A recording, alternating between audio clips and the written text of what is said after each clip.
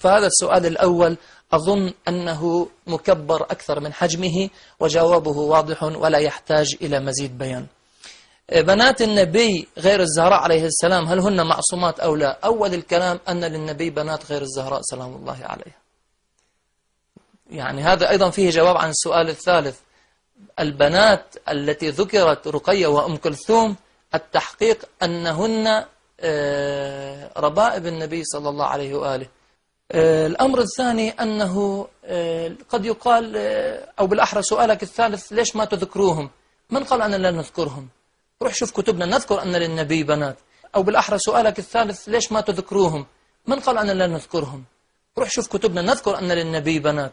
لكن نعظم مقامهم لم يرد في حقهم. نحن نبين ما بينه الله تعالى. وما بينه النبي صلى الله عليه وآله. ولا نكتمه كما فعل غيرنا غيرنا لأننا نخاف من الله ونخاف من قوله إن الذين يكتمون أولئك يلعنهم الله ويلعنهم اللاعنون.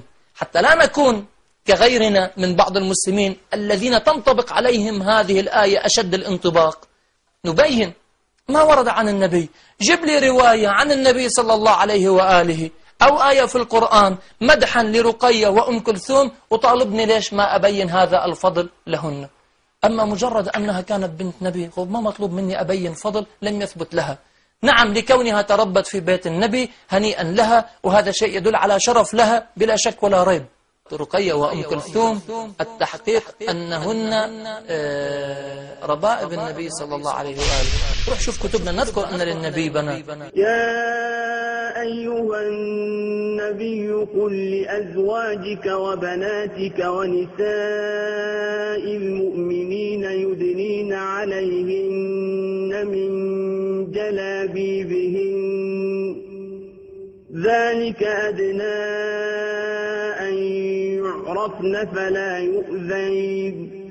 وكان الله غفورا رحيما.